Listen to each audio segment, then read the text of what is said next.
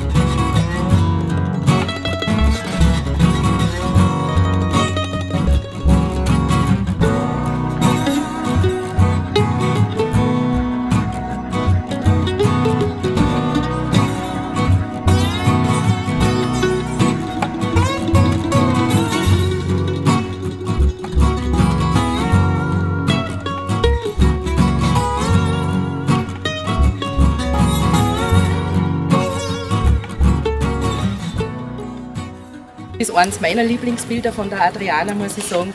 Äh, das heißt der Schlaf. Und ja, es ist von der Farbe, von der Farbgebung her gefällt es mir besonders gut und von der Symbolik her auch. Und sie sagt folgendes zu dem Bild. Dieses Bild repräsentiert die Koexistenz aller Phasen unseres Lebens während des Schlafes. Die Frau, die auf dem roten Sessel einschläft, obwohl ihre Augen offen sind, schläft sie.